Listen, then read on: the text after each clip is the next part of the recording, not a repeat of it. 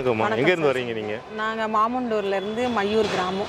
செங்கல்பட்டு தாண்டி மாமண்டூர் அது பக்கத்தில் இருக்குது மையூர் வில்லேஜ் கேள்விப்பட்டிருக்கேன். ஒரு பஸ் கூட டவுன் பஸ் போகுது இல்லையா? ஆமாங்க சார். அங்க பாலார் பிரிட்ஜ் ஆண்ட ஆமாம் பாலார் பிரிட்ஜ் அங்க இருந்து வரது என்ன பிரச்சனை உங்களுக்கு? இந்த இது? அந்த பலாமரம் தான் வச்சு ஒரு பதினஞ்சு பத்து வருஷத்துக்கு மேல ஆகுது. சரி. பன்னெண்டு, 12 years. பதினஞ்சு பத்து வருஷம் அவ்வளோ- அவ்வளோ இருக்கு? பதினஞ்சு பத்து இருக்காது. ஆ இருக்கு டென் இயர்ஸ் கிட்ட இருக்கும். 10 years இருக்கும். டென் இயர்ஸ் இருக்கும். எங்கேருந்து வாங்குனீங்க?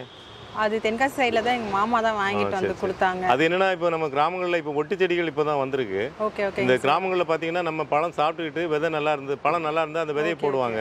ஓகே. ஓகே அது போட்டு முளைக்க முளைக்க வச்சு வரும்போது அது விதை செடினா ஏழு வருஷத்துக்கு மேலே ஆகும். சரிங்க அது ஏழு வருஷம் நீ பத்து வருஷம் ஆகுங்கிறீங்க. ஏழு வருஷத்துல காய்க்கும். ம். ஆனா அது எப்படி மாறும்னாக்கா நம்மளுடைய பூமி மண்ணை பொறுத்து நம்ம ஊருடைய கிளைமேட் அந்த இதெல்லாம் பொறுத்து மாறும். இப்போ உங்களுக்கு பத்து வருஷம் ஆகுங்கிறது ஒன்றும் ஆச்சரியப்படுறது இல்லை ஆகுறதுக்கு வாய்ப்பு உண்டு ஓகே ஓகே அஹ் ஆனா வந்து இப்போ நீங்க வர்றது வே- பூக்கள் வருதா?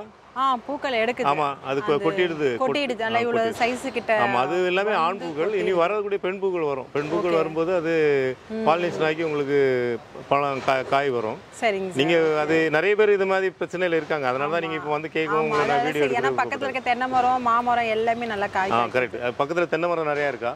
ஆ தென்னை மரம். நிழல் படுதா அது மேல? ஆ ரெண்டு மரம் நிழல் இருக்கு. நிழல் இருக்கு. அதுதான் மெயின் காரணம். இப்போ உங்களுக்கு காய்க்காததுக்கு மெயின் காரணம் வந்து நிழல் இருக்கிறது தான். நிழல் அது பக்கத்துல மாமரமும். ஆ பாத்தீங்களா? அதான் எல்லா மரமும் வைக்கணும் நமக்கு ஆசை. ஓகே ஆனா அதே டைம்ல எல்லா பழச்செடிக்குமே வெயில் வேணும். நீங்க என்ன பண்ணுங்க? அந்த மாமரத்தை கொஞ்சம் கிளையை வெட்டி விடுங்க. சரிங்க சார் பலாப்பழம் பலாமரம் வளர காய்க்கணும்னா மாமரத்து கிளையை வெட்டுங்க. ஓகேங்க சார். மாமரம் காய்க்கணும்னா பலாமரத்து கிளையை வெட்டுங்க. ஏதாவது ஒன்று வெட்டினீங்கன்னா தான் ஒன்று பழம் கொடுக்கும். அப்படி கிளையை வெட்டி விட்டாலே நீங்க ஒன் இயர்ல காய்க்கும் உங்களுக்கு. நீங்க வேற ஒன்றும் அதுக்கு பெரிய ட்ரீட்மெண்ட் பண்ண வேண்டியதில்லை. பொதுவாக பலாமரத்தை பொறுத்தளவு ரொம்ப டிஸ்டர்ப் பண்ணக்கூடாது. சும்மா வேற நோண்டிட்டு அது மாதிரிலாம் பண்ணக்கூடாது. ரொம்ப சாஃப்டான மரம் அது.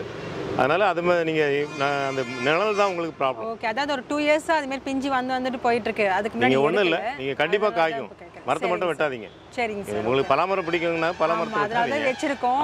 ஏன்னா நிறைய. கஸ்டமர் வந்து என்கிட்ட இது மாதிரி காண்டாக்ட் பண்றாங்க கேக்குறாங்க. ஓகே அவங்களுக்கு சொல்றேன். இப்போ அவங்களால என்னால வீடியோ எடுத்து சொல்ல முடியல. நீங்க வந்த நேரம் அவர் வீடியோ எடுக்கிறவர் இருக்காரு அதனால தான் வீடியோ எடுக்கிறோம்.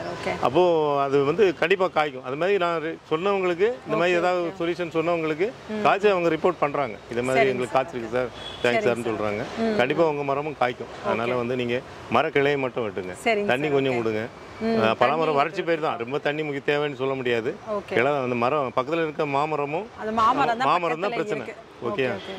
அது கட் பண்ணீங்கன்னா காய்க்கும். நீங்களும் அது காய்ச்சி வந்ததுன்னா எனக்கு ஒரு போனோம் இல்லை இந்த பக்கம் வந்தீங்கன்னா ஒரு தகவல். சொல்லுங்க. சரிங்களா?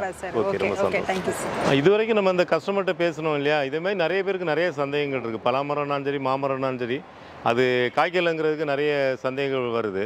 ஆனால் எல்லாராலையும் நம்ம காண்டாக்ட் பண்ணி சொல்ல முடியாது. பொதுவாக இந்த பழச்செடிகள் வைக்கிறோம்னாக்கா வெயில் ரொம்ப முக்கியம். வெயில் தான் ஆதாரமே. சூரியன் தான் ஆதாரமே. அதனால் வந்து நம்ம அதை ஏற்படுத்திக்கணும். இப்போ அவங்ககிட்ட பேசின பிறகு தான் எனக்கு தெரிஞ்சுது. என்னென்னா அது நிழல் தான் நிழலாக இருக்கிறதுனால காய்க்கல. அதுமாதிரி ஒன்று ஒவ்வொரு இதுலேயும் ஒவ்வொரு பிரச்சனைகள் இருக்கும். அதை நீங்கள் வந்து எங்கள் nursery number nine eight four one nine eight six four double ஜீரோங்க நம்பருக்கு வாட்ஸ்அப் மூலமோ இல்லை அதனுடைய ஃபோட்டோ வீடியோ அது மாதிரி இருந்தது நீங்கள் தெரிவிச்சிங்கனாக்கா அதுக்கு நாங்கள் பதில் சொல்கிறதுக்கு தயாராக இருக்கிறோம் நன்றி வணக்கம்.